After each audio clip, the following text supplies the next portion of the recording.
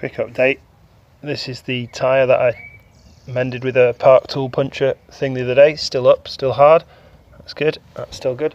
What I really want to show you is that I bought on the same day some new ones for this side because these old ones were toast. So yeah, they weren't going to be fixed with a puncher repair kit, were they? So, oh, I think these need pumping. But yeah, not a problem. Right, just finished pumping those up. So they're all at 30 psi, which is the max these tyres will go to.